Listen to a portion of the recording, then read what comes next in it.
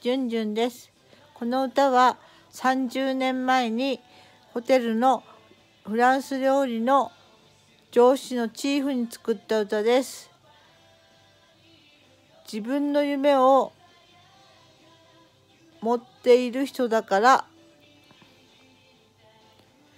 あなたが突然遠くへ行くと私に告げた夜。帰り道一人で泣き出してしまった。私。一年という短い間あなたと仕事して。あなたが私にしてくれた優しさ忘れないあなたは自分の夢を持って生きてる人だから。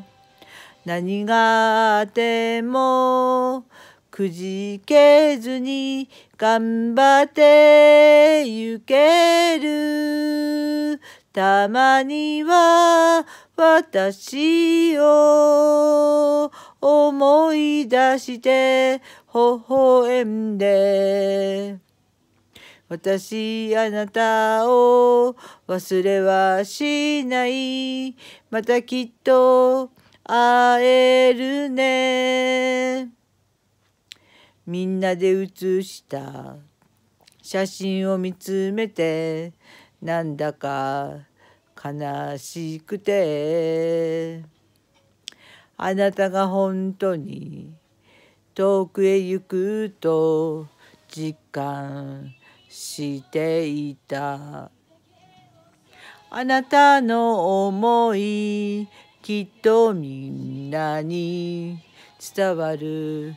ことだからこれからきっとみんなで気づいてゆくからあなたは自分の夢を持って生きてる人だから。何があってもくじけずに頑張って行ける。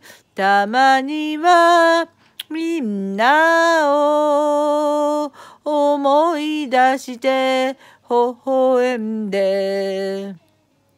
私あなたを覚えています。またきっと会いたい。あなたは自分の夢を持って生きてる人だから。何があってもくじけずに頑張ってゆける。たまには私を思い出して微笑んで。私あなたを忘れはしない。またきっと会いたい。またきっと会えるね」